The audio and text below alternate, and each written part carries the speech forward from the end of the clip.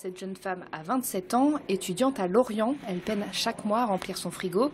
Jeudi, pour la deuxième fois, elle a poussé la porte des Restos du Cœur et témoigne de manière anonyme. L'accueil est génial, quoi. Vraiment. euh, En fait, j'ai pas le droit à la bourse parce que c'est pas une formation professionnelle. Et étant au RSA, du coup, j'ai des moyens très, très, très, très limités.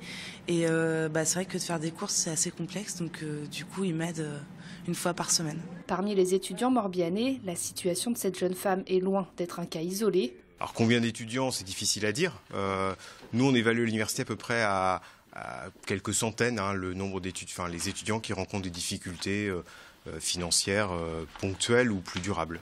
Pour les épauler de manière organisée, une convention vient d'être signée entre l'Université de Bretagne Sud et l'association caritative. Cette convention, elle permet d'abord à nos étudiants d'avoir accès à une aide alimentaire d'urgence, qui est complémentaire des dispositifs qui existent déjà, euh, en particulier euh, pendant les vacances universitaires. En semaine, le jeudi après-midi est réservé aux étudiants. Le dispositif pilote fonctionne à Vannes depuis le mois d'avril et à Lorient depuis deux semaines. C'est neuf repas par semaine pour une personne seule, donc pour un étudiant. Nous accueillons actuellement entre les sites de Lorient et de Vannes quelques dizaines d'étudiants et nous souhaiterions pouvoir en aider bien davantage parce que nous souhaiterions en aider plusieurs centaines.